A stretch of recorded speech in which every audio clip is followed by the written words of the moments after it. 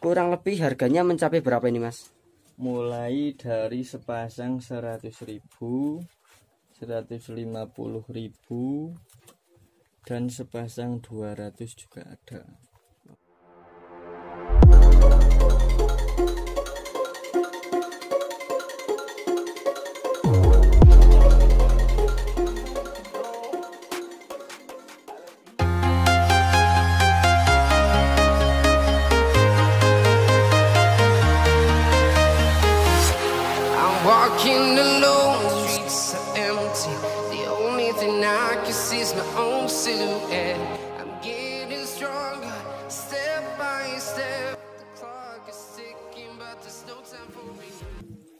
Oke teman-teman.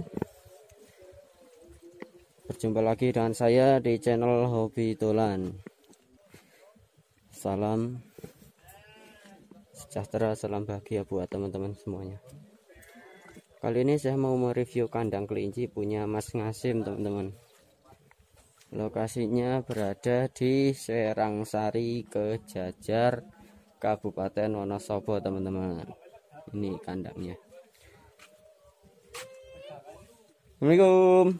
Waalaikumsalam. Selamat siang mas. Apa kabar? baik baik saja Alhamdulillah baik. Mas mau minta sedikit waktunya ini mas Buat mereview kelinci-kelinci yang ada di kandang ini mas. Oh iya boleh boleh Ini di kandang ini ada berapa jenis kelinci nih mas? untuk sementara ini ada tiga jenis. Ada tiga jenis. Mungkin bisa disebutkan mas Jenis apa saja? yang pertama jenis Rex Jenis rek yang itu berasal dari Prancis yang berasal dari Prancis yang kedua NZ Oh ada NZ Yang NZ yang mana nih mas? ini masih kecil-kecil Yang NZ masih kecil nah itu itu dalam ya ini Oh yang ini yang putih-putih gini ya mas NZ itu Ini endemiknya dari mana mas? ke New Zealand New Zealand Terus yang satu lagi jenis apa mas? Flam. Flam Flam yang, mana- yang mana mas? Oh ini flam Ini untuk perbedaan jenis Rex sama flam perbedaannya di mana nih mas? kalau flam itu posturnya lebih besar dan bulunya juga panjang. Yang untuk jenis flam ini? Kalau jenis Rex itu bulunya seperti karpet bulu karpet mas. Oh seperti bulu karpet teman-teman. Jadi lebih Oh iya ini lebih halus ya mas ya? Untuk struktur bulunya lebih halus Lebih lembut dibandingkan dengan yang jenis flam Nih Lebih halus teman-teman. Cantik-cantik Untuk yang jenis Z tadi ya mas ya? NZ NZ oh iya jenis NZ ini perbedaannya ada yang lebih menonjol nggak mas untuk perbedaan NZ sama yang rek tadi? NZ kalau untuk postur bulu apa bulunya itu seperti flam panjang. Oh, oh iya ini panjang-panjang ini ya mas ya. Berbeda dengan yang rek ya mas jadi hampir mirip-mirip sama yang flam ini ya mas? Iya. Mirip albino ini. Apa memang albino ini mas? Itu albino. Oh jadi albino teman-teman. ini Rex oh ini bulunya lebih halus. yang jenis rek teman-teman.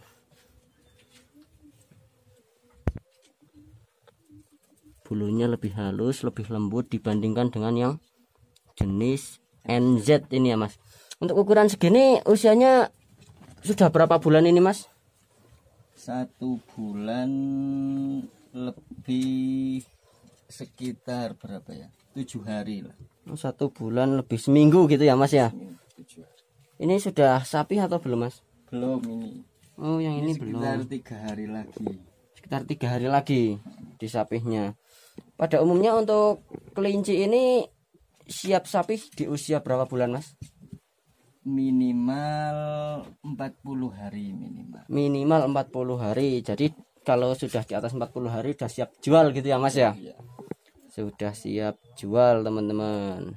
40 hari sudah bisa disapih ini kalau boleh tahu ini mas di kandang ini kira-kira ada berapa indukan ini mas? Ini baru sekitar 12-an lah. 12 indukan. Baru pemula.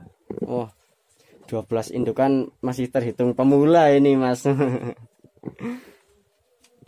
Indukannya ada 12 kalau untuk pejantannya? Ini pejantan rek. Pejantan rek. Dikawinkannya untuk sesama jenis atau mungkin disilang-silangkan ini mas saya lebih suka untuk disilang-silangkan misalkan flam dengan rek mungkin disilangkan gitu ya mas ya? Saya nyilangnya rek sama NZ biasanya. Oh. hilang ini untuk pejantan rek ya mas? Ya ini mau kawin atau bagaimana ini mas kok? Pejantannya? Birahi ini birahi sedang birahi ini. Oh. Sedang birahi nih kawan-kawan. Udah lama nggak kawin soalnya. Udah lama nggak kawin perlu indukan lagi nih mas. Perlu indukan lagi. Ini jenis rek rek. Broken kuku. Broken koko teman-teman. Ada jenis lagi ya mas ya? Jenis rek broken koko. Ini memang bulunya sangat halus teksturnya dibandingkan dengan yang jenis flam ini. Untuk yang flam ini jenis kelaminnya pejantan atau indukan ini mas? Itu indukan betina oh indukan teman-teman. Untuk pejantannya sudah ada atau mungkin disilangkan dengan yang lain mas? Itu pejantannya ini. Pejantannya yang mana ini? Oh yang ini teman-teman. Uh super besar ini. Istimewa ini. Ini kira-kira usianya udah berapa bulan mas? Atau mungkin udah berapa tahun? Tujuh bulan. Oh belum mendekati belum belum satu tahun teman-teman masih tujuh bulan. Masih muda. Sudah terhitung pejantan ini ya mas ya? Ya Kalau untuk corak kelinci sendiri, apakah berpengaruh dengan harga atau enggak, Mas? Kalau untuk corak itu harganya masih relatif sama. Oh, masih relatif Kalau sama. khusus yang warna ini Oh, masih ada ciri-ciri khusus yang berbeda untuk harga ini, teman. nah ini yang warna red California Rek California. Berarti ini memang beda endemik ini ya, Mas ya? ini jenis red tapi kan warnanya California Oh, warnanya California. Warna California gitu. Masih langka ya Oh, masih langka. Jadi untuk Rek California ini memiliki ciri-ciri mata yang dominan merah seperti halnya yang albino ini ya Mas ya. tapi ada cemong-cemongnya Oh iya ada cemong-cemongnya atau corak warna lain. Ini untuk coraknya pun teratur ini ya Mas ya, simetris untuk kakinya memiliki kaki Istilahnya kaki, kos kaki gitu ya Mas ya. kuping Kupingnya juga simetris, kemudian Hidung. memiliki sedikit corak di hidungnya. Wah ini dan ekor. Ekornya iya teman-teman ini emang warnanya simetris ini. Bagus ini teman-teman. Ini untuk warna yang California ini sudah memiliki berapa ekor ini mas? Ini baru sedikit mas. Sekitar tiga ekor. Tiga ekor corak warnanya sama semua seperti ini atau ada perbedaan lain mas? Ada yang warnanya pudar oh, Lebih kelinci juga ada yang pudar warnanya gitu ya mas ya itu faktor yang membuat kelinci memudar warnanya itu faktor apa mas yang pertama biasanya itu faktor genetik keturunan Oh, faktor yang genetik. kedua faktor iklim musik iklim Oh, iklim cuaca ya, Mas ya. di daerah Cuaca. dingin biasanya lebih pekat Hmm. kalau di daerah panas biasanya akan memudar Gitu, teman-teman. Jadi justru lebih cocok untuk di daerah dingin ya, Mas ya, untuk jenis rek ini. California Rek California agar warnanya tetap stabil dan tidak memudar, teman-teman. Ini sangat lucu sekali ini, teman-teman. sangat lucu sekali ini. Untuk kelinci California ini usianya sudah berapa bulan, Mas? itu sekitar tiga bulan Sudah tiga bulan. Kok bentuk tubuhnya hampir sama dengan yang ini mas satu bulan lebih satu minggu ini mas. ini anakan dari pure yang ini Oh anakan dari pure pure rek gitu ya mas ya. pure Pure blood teman-teman. Pure blood atau darah murni. masih pure Darah murni. Emang ini keturunan murninya aslinya memang itu ya mas. Tubuhnya kecil gitu ya mas ya. iya sudah BC ya, BC itu apa mas?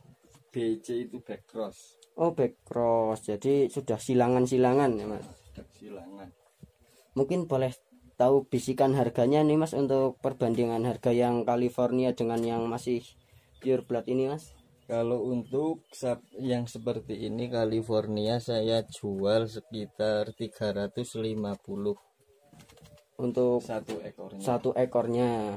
Untuk jenis kelamin perempuan dan laki-laki sama saja mas harga segitu mas. Itu harganya sedikit berbeda, Mas. Oh sedikit kalau berbeda. kalau yang jantan 350. Oh, masih Kalau selisih yang betina sekitar 500 kalau untuk yang jenis California. rek California. Jadi gitu teman-teman, memang ada sedikit perbedaan harga untuk kelinci jenis rek California ini teman-teman. Karena masih langka, Mas.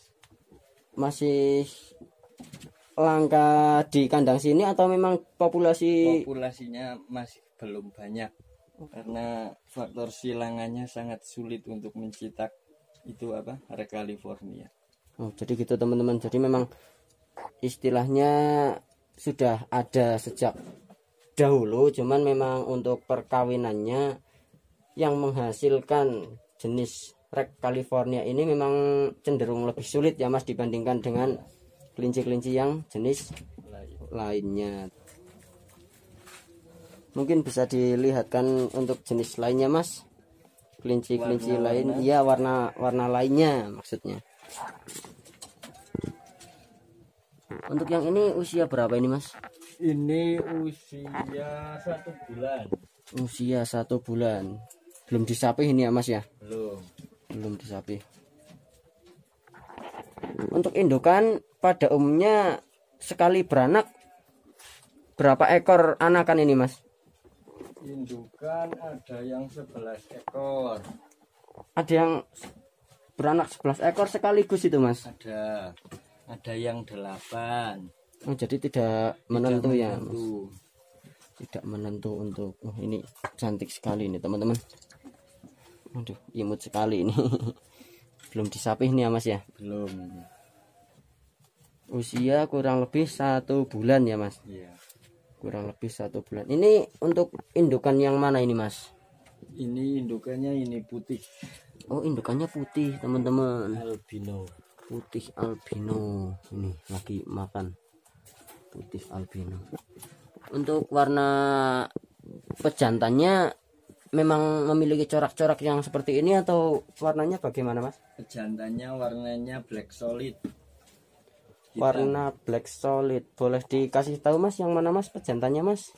Jantannya tuh silih. Oh lagi dipinjamkan? Oh, dipinjamkan. Jadi juga jenengan ini meminjamkan pejantan-pejantan untuk teman-teman sesama peternak kelinci gitu ya Mas ya. ya kan biasanya ada yang nggak punya pejantan jadi ambil di sini Oh, jadi mungkin untuk mempererat tali persaudaraan sesama peternak kelinci gitu ya Mas ya. Jadi saling meminjamkan mungkin kalau ada temen Mas Ngasim yang memiliki jenis kelinci yang lebih bagus dari punyanya Mas Ngasim mungkin bisa saling meminjam-minjamkan Iya, gitu ya Mas. bisa. Pernah saya mendapatkan kabar Mas kalau untuk jenis kelinci mungkin hewan-hewan lainnya kalau dikawinkan dengan masih satu darah atau satu saudara itu memang hasilnya kurang bagus itu betul atau enggak itu Mas? itu sangat betul sekali Oh. karena jika persilangannya masih satu darah itu bisa mengakibatkan kecacatan biasanya Oh, kecacatan fisik ya Mas ya? Ya. kecacatan fisik. Cacatan fisik teman-teman. Organ tubuh biasanya ada yang kurang di dalamnya. Hmm, jadi memang cenderung lebih beresiko ya mas ya untuk perkawinan sejarah gitu ya mas ya? Lebih baik dikawinkan sama yang lain darah. Oh, jadi itu teman-teman. Makanya kalau ada teman Mas Ngasim yang meminjamkan pejantannya itu sudah tidak asing lagi ya Mas ya iya karena untuk menyilang-nyilangkan keturunan agar tidak terjadi keturunan sedarah ya Mas ya Iya. Kalau berternak kelinci itu yang pertama yang jelas kalau di kawasan sini itu pakannya sudah nggak beli. Jadi tidak perlu memikirkan untung dan ruginya. Pasti untung.